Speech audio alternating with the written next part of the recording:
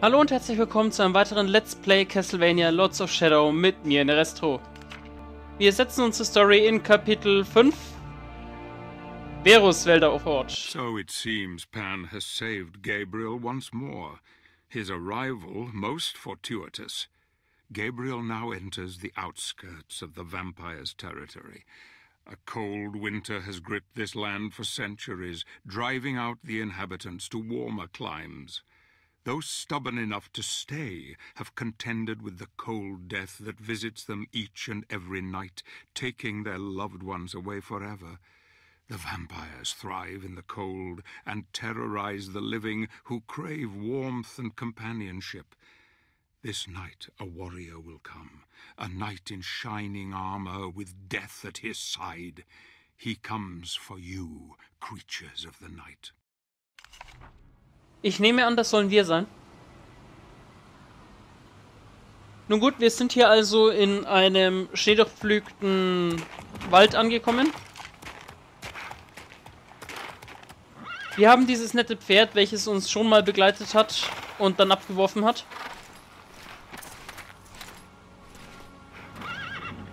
Und das verschwindet jetzt wahrscheinlich. Auch einfach. Schade aber auch.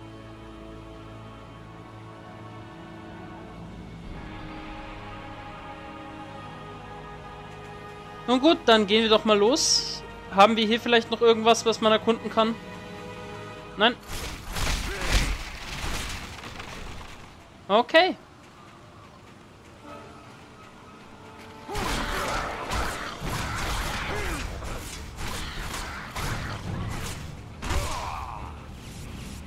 Und hier haben wir einen schönen Kristall und hier hatten wir dieses Ding hier.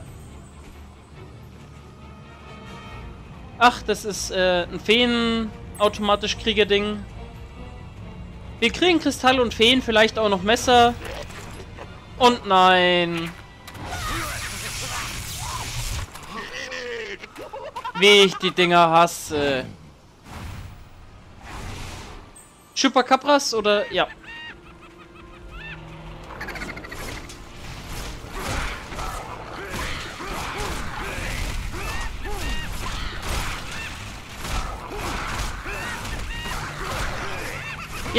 Und diese Chupacabras, ich mag sie nicht.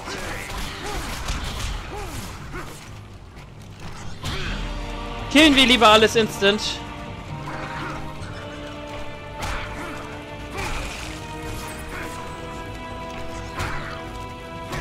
Und schnell weg von hier. Nachdem da Bomben explodieren.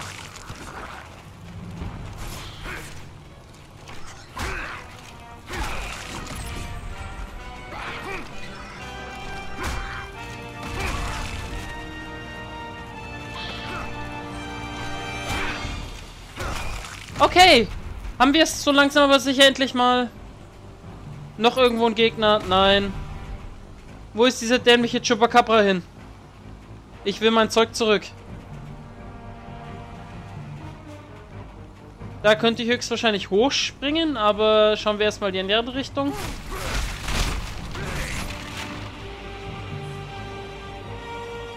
Oh, ein Brunnen, ein Brunnen.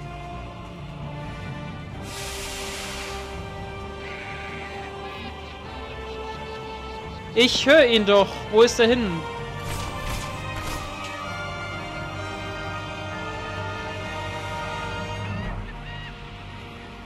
Da ist er. Oh, come on. Ernsthaft? Jetzt ist er hinter dem Ding? Ich hasse diese Dinger. Ich meine, es ist ungefähr so wie in anderen Spielen. Raben oder dergleichen. Alles Sachen, die man nicht haben muss, will, sonstiges. Lässt du eine Granate fallen? Nein.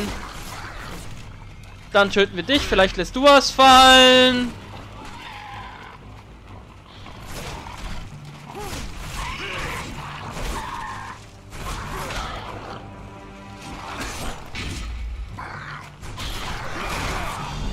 Hey, hey, hey. Und du stirbst gleich mal instant, denn wir mögen dich nicht.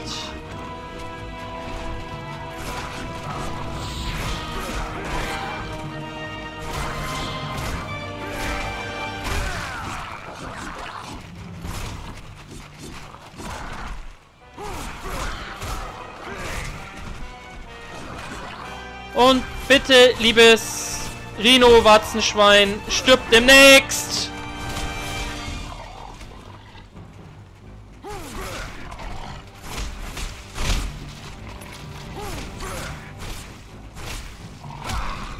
Hey! Nicht ich soll sterben, sondern du.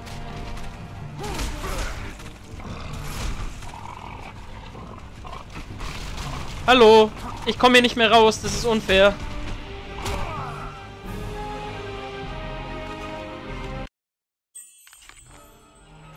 Gut. Wenigstens haben wir volle Leben. Und tschüss, mein lieber Gnome. Goblin, sonstiges.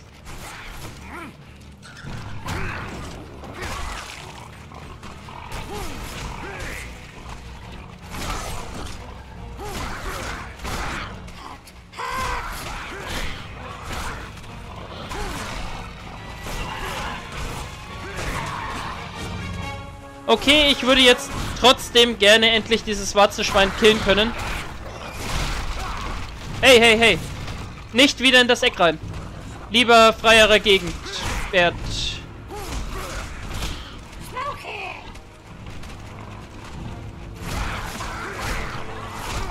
Hey. Die Kamerasteuerung lässt es aber leider nicht zu, dass man geschickterweise sieht, wo dieses dämliche Ding ist, wenn es unterhalb von einem ist in der Map.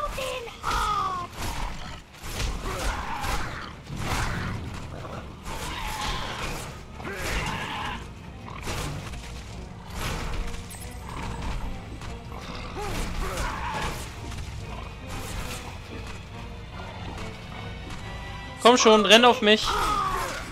Ah, und jetzt können wir es reiten. Hoffe ich doch mal.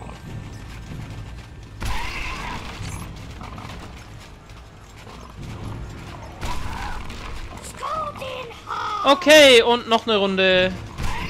Ey, bitte.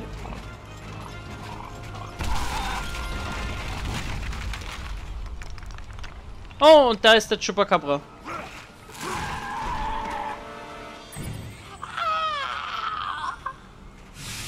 Und hier können wir uns heilen. Das war ja wieder relativ brauchbar. Können wir hier noch irgendwas machen? Scheint so, als wäre man hier irgendwie hochgekommen oder runtergekommen. Ich glaube, ich muss hier rum.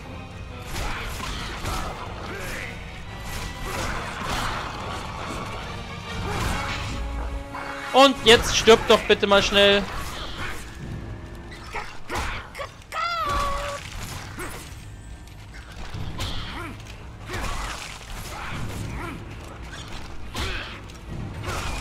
Du auch gleich. Das mag zwar jetzt halt kalt sein, aber...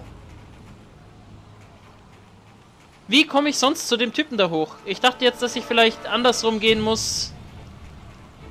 Aber anscheinend ist dem nicht so.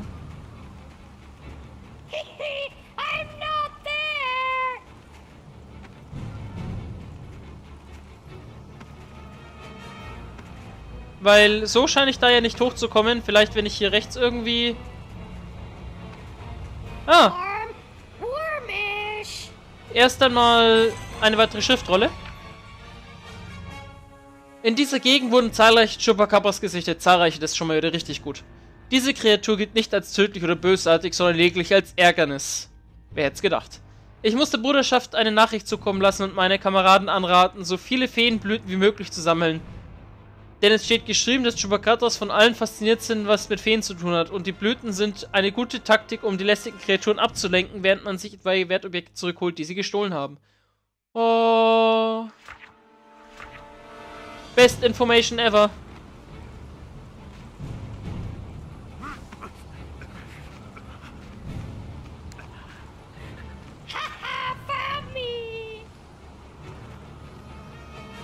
Hey, Ach, come on.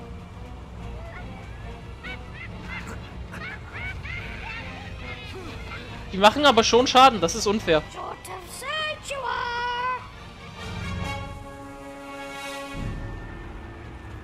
Erstmal schauen wir hinten, dann... Ah, toll, hey.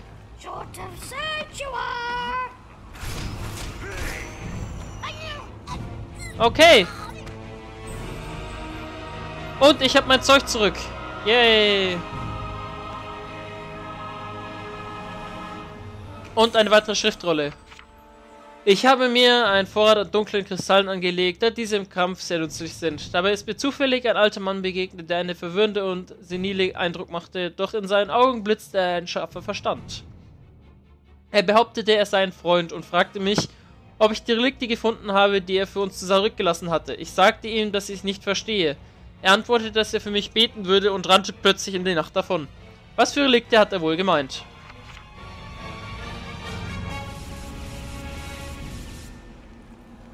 Ich weiß nicht, ich weiß bloß, dass ich mehr Feen brauche. Und sei es nur für diese dämlichen Chupacabras.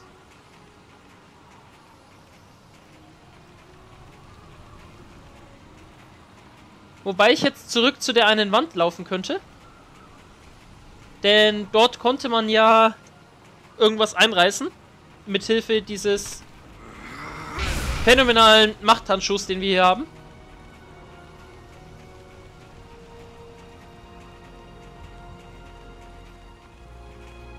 Was ist mit dieser dämlichen Kamera los?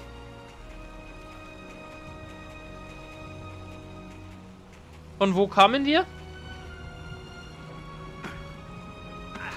Ach, wir sind hier runtergesprungen und kommen jetzt gar nicht mehr zurück. Das ist ja ein Witz. Nun gut, dann eben doch in diese Richtung.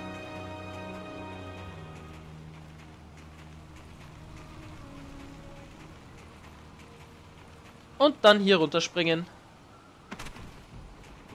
Ach, und das ist die Wand, wo wir vorhin waren.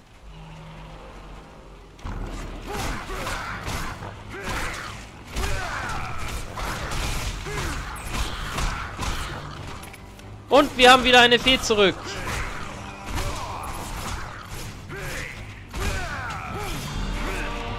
Und tschüss, mein lieber Herr Goblin, Gnome, sonst irgendwas.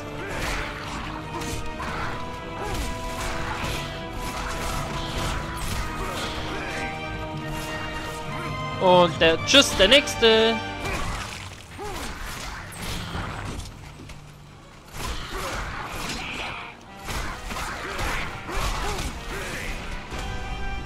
Und dann können wir weiter. Und haben hier die tolle Wand, wo wir wollten wollten.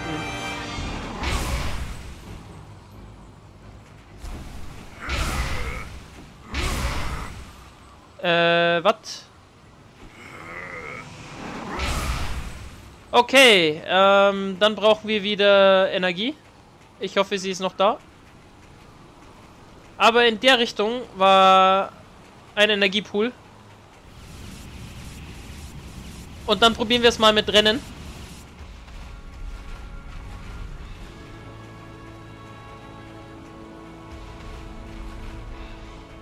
Wie war das? So... Nein, so nicht.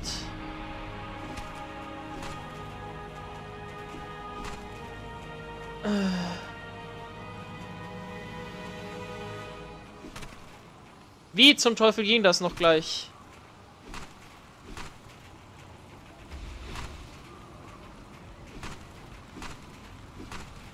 Hallo, wie ging das? Ähm, so? Nein. Ähm...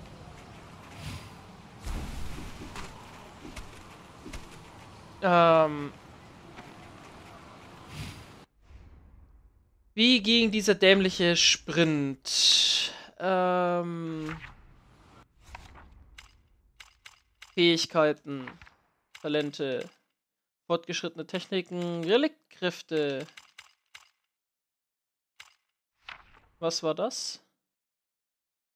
Okay, das war Aufwärtshaken, das brauchen wir nicht.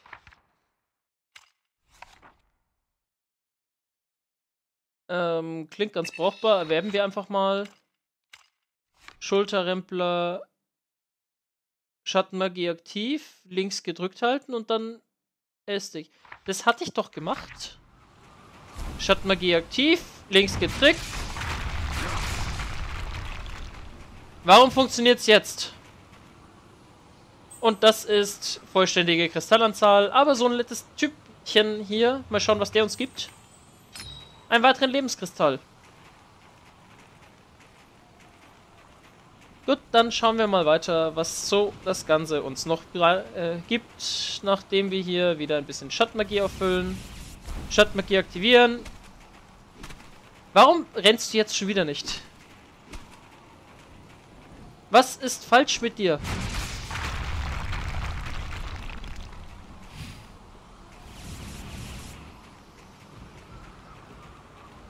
Und wahrscheinlich eine weitere Schriftrolle, sonst würde das da ja nicht sein. Wir befinden uns ganz in der Nähe von Vigol.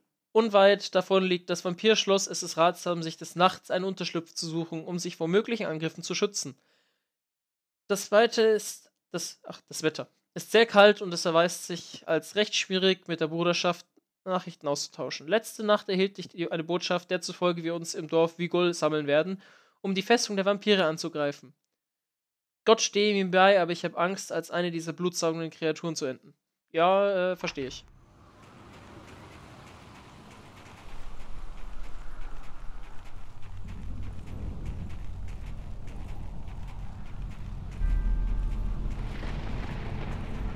Ah, cool. Also das Schloss ist cool.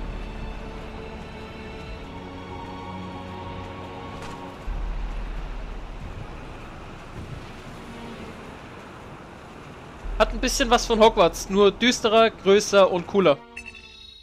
Und das war schon das Level. Insofern, man sieht sich bis zum nächsten Mal.